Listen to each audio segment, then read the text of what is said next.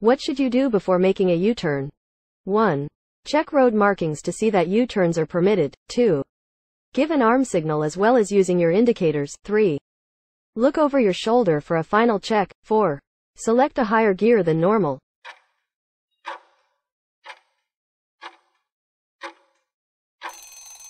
The answer is 3. Look over your shoulder for a final check.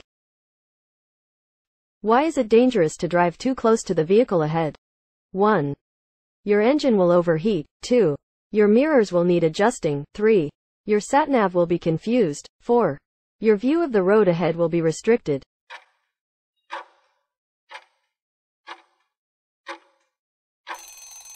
The answer is 4. Your view of the road ahead will be restricted.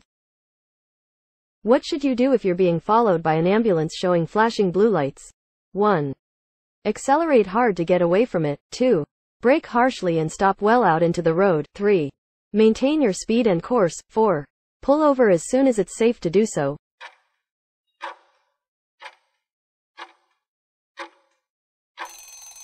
The answer is 4. Pull over as soon as it's safe to do so.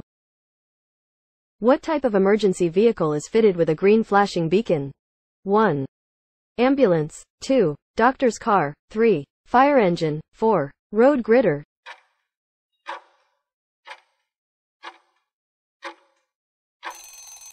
The answer is 2. Doctor's car. What makes the vehicle in the picture environmentally friendly? 1. It's powered by diesel. 2. It's powered by electricity. 3. It's powered by gravity. 4. It's powered by unleaded petrol.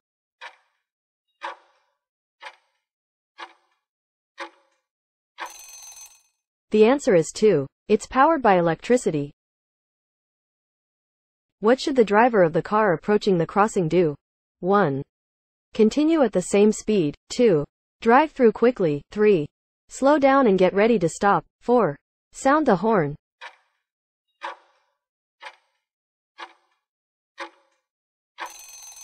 The answer is 3.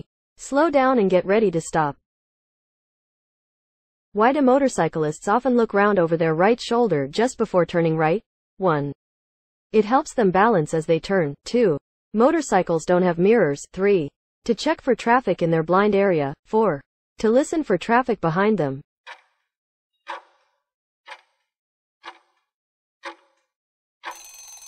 The answer is 3.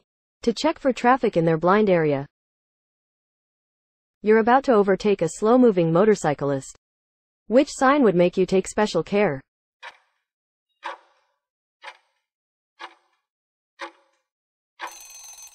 The answer is 1. You're approaching a mini roundabout. What should you do if a long vehicle in front signals left but positions over to the right? 1. Follow the same course as the lorry. 2. Keep well back. 3. Overtake on the left. 4. Sound your horn.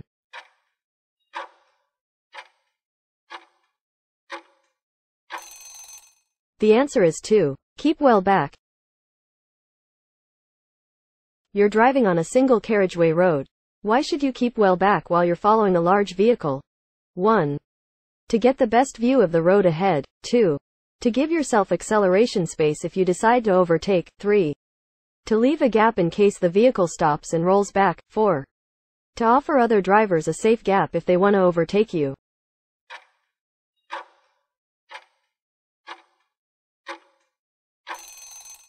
The answer is 1. To get the best view of the road ahead.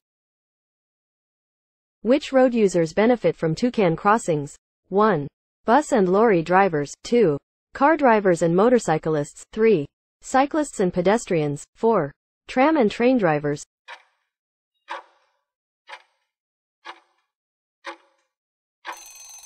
The answer is 3. Cyclists and pedestrians. What does this sign mean? 1. Cycle in single file. 2. Cycle route ahead. 3. Cycles aren't allowed. 4. Cyclists must dismount.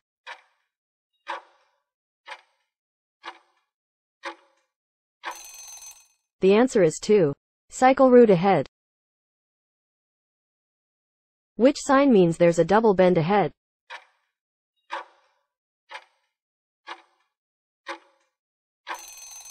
The answer is 2. What does this sign mean? 1. Entrance to tunnel. 2. Hump bridge. 3. Humps in the road. 4. Soft verges.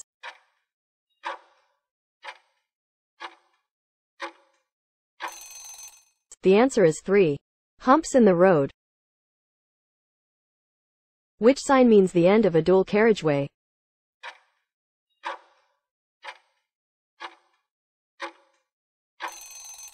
The answer is 4. What does this sign mean? 1. No through road. 2. T junction. 3. Telephone box ahead. 4. Toilet ahead.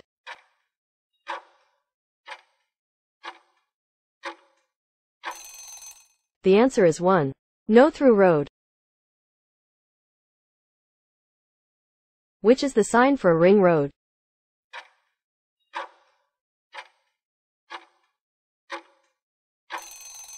The answer is 3. Why does this junction have a stop sign and a stop line on the road? 1. It's a busy junction. 2. Speed on the major road is de-restricted. 3. The junction is on a downhill gradient. 4. Visibility along the major road is restricted.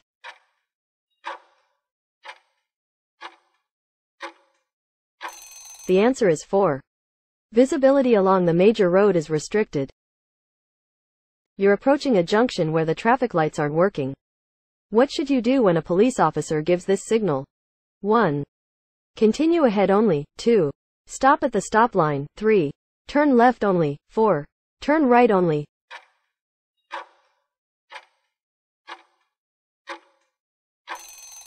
The answer is 2. Stop at the stop line. What does this arm signal mean? 1. The driver intends to turn left. 2. The driver intends to turn right. 3. The driver is slowing down. 4. The driver wishes to overtake.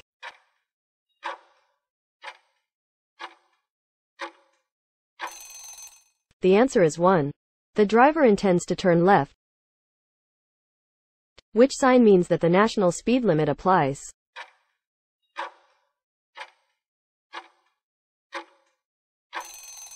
The answer is 4. What should you do when going through a contraflow system on a motorway? 1. Keep a good distance from the vehicle ahead. 2. Stay close to the vehicle ahead to reduce queues. 3. Switch lanes to keep the traffic flowing. 4. Use dipped headlights.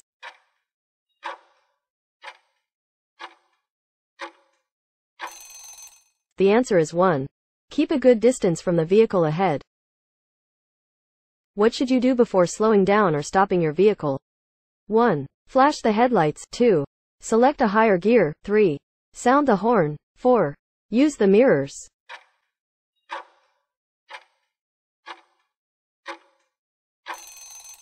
The answer is 4. Use the mirrors. What's the reason for the hatched area along the center of this road? 1. It marks an area to be used by overtaking motorcyclists. 2. It separates the two sides of the dual carriageway. 3. It separates traffic flowing in opposite directions. 4. It's a temporary marking to warn of the roadworks.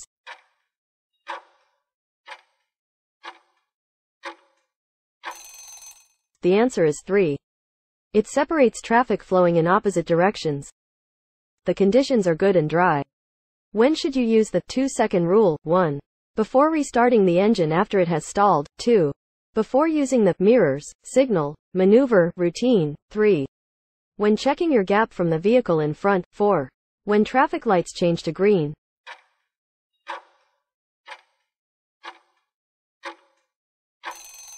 The answer is 3. When checking your gap from the vehicle in front. You're driving on a three-lane motorway. How should you overtake a slow-moving lorry in the middle lane if it's showing this sign?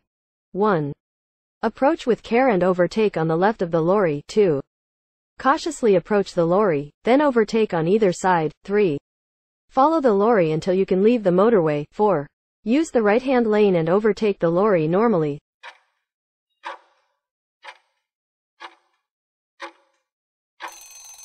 The answer is 1. Approach with care and overtake on the left of the lorry. A driver's behavior has upset you. How can you get over this incident safely? 1. Follow them, flashing your headlights. 2. Gesture to them with your hand. 3. Shout abusive language. 4. Stop and take a break.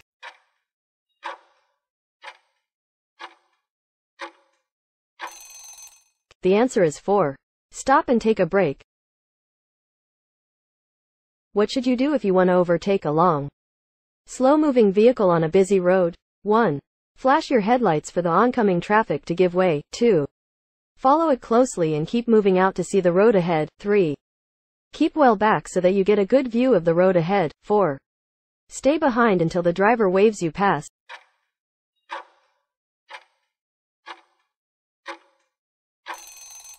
The answer is 3. Keep well back so that you get a good view of the road ahead. What must you do when you see this sign?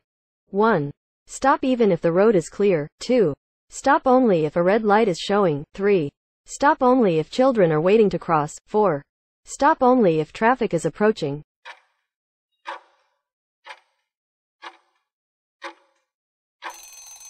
The answer is 1. Stop even if the road is clear.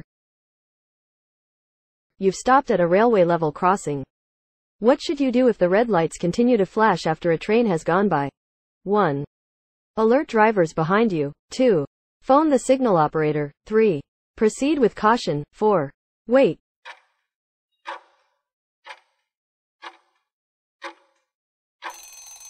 The answer is 4. Wait.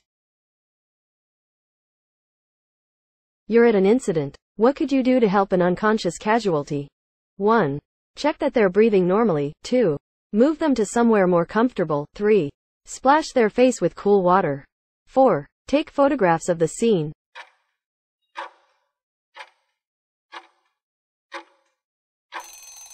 The answer is 1. Check that they're breathing normally. You arrive at an incident. There's no danger from fire or further collisions and the emergency services have been called. What's your first priority when attending to an unconscious motorcyclist? 1. Check whether they have any broken bones. 2. Check whether they have any bruising. 3. Check whether they're bleeding. 4. Check whether they're breathing normally.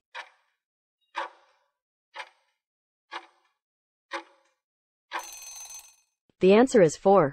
Check whether they're breathing normally. You're behind this cyclist. When the traffic lights change, what should you do? 1. Allow the cyclist time and room. 2. Tap your horn and drive through first. 3. Try to move off before the cyclist. 4.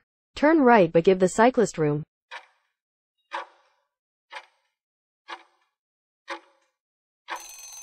The answer is 1. Allow the cyclist time and room.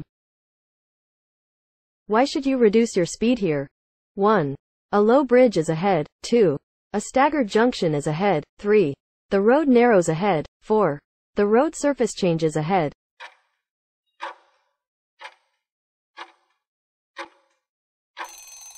The answer is 2.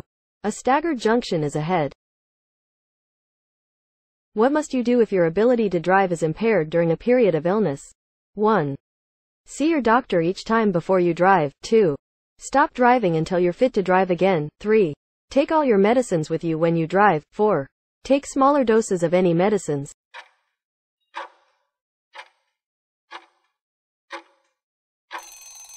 The answer is 2. Stop driving until you're fit to drive again. Which road users are most difficult to see when you're reversing your car? 1. Car drivers. 2. Children. 3. Cyclists. 4. Motorcyclists.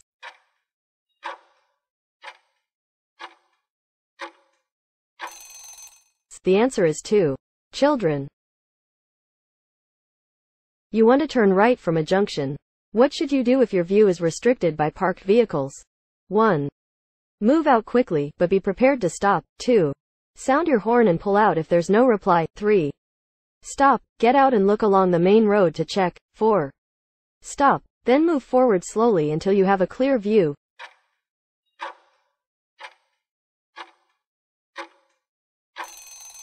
The answer is 4. Stop. Then move forward slowly until you have a clear view. A single carriageway road has this sign. What's the maximum permitted speed for a car towing a trailer? 1. 30 miles per hour. 2. 40 miles per hour, 3. 50 miles per hour, 4. 60 miles per hour.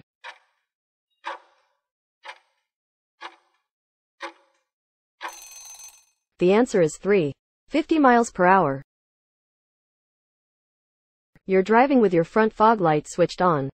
What should you do if the fog has cleared? 1. Drive with them on instead of your headlights. 2. Flash them to warn oncoming traffic that it's foggy. 3. Leave them on if other drivers have their lights on. 4. Switch them off as long as visibility remains good.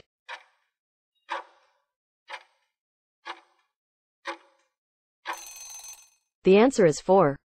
Switch them off as long as visibility remains good. You're driving along a wet road. How can you tell if your vehicle's tires are losing their grip on the surface? 1. The engine noise will increase. 2. The engine will stall. 3. The steering will feel very heavy. 4.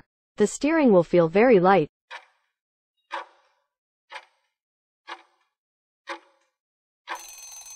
The answer is 4.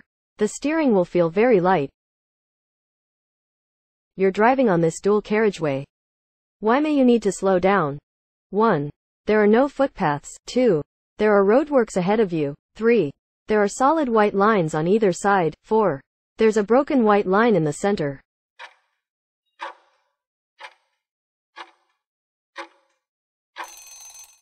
The answer is 2. There are roadworks ahead of you. Which lights must you use if you're driving on a well-lit motorway at night? 1. Use front fog lights. 2. Use only your side lights. 3. Use rear fog lights. 4. Use your headlights.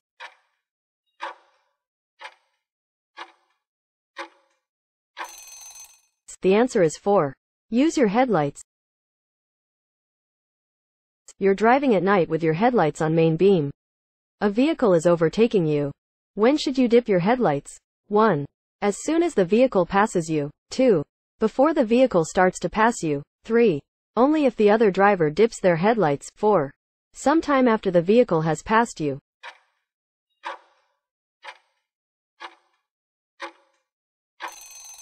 The answer is 1.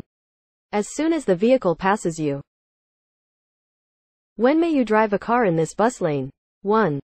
Outside its hours of operation. 2. To get to the front of a traffic queue. 3. To overtake slow-moving traffic. 4. You may not use it at any time.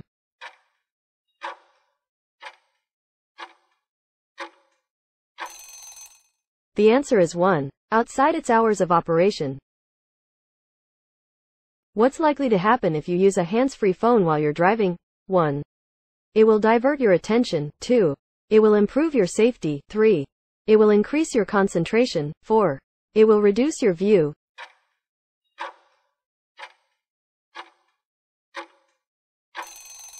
The answer is 1. It will divert your attention. How can you reduce the chances of your car being broken into when leaving it unattended? 1. Park near a fire station. 2. Park near a taxi rank. 3. Place any valuables on the floor. 4. Take all valuables with you.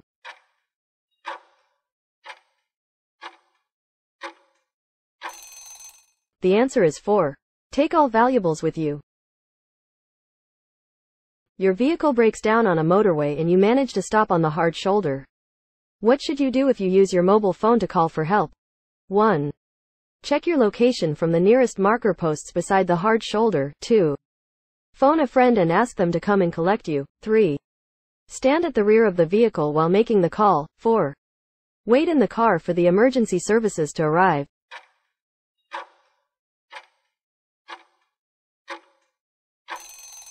The answer is 1. Check your location from the nearest marker posts beside the hard shoulder. You're parked in a busy high street. What's the safest way to turn your vehicle around so you can drive in the opposite direction? 1. Ask someone to stop the traffic. 2. Carry out a U-turn. 3. Drive into a side road and reverse out into the main road. 4. Turn around in a quiet side road.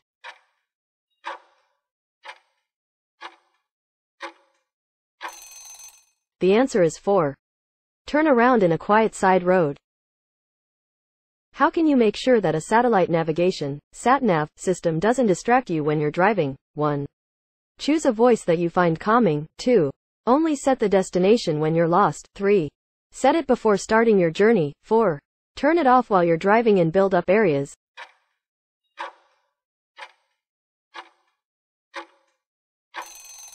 The answer is 3. Set it before starting your journey. What's the legal minimum tread depth for tires on your trailer or caravan? 1. 1 mm, 2. 1.6 mm, 3. 2 mm, 4. 2.6 mm.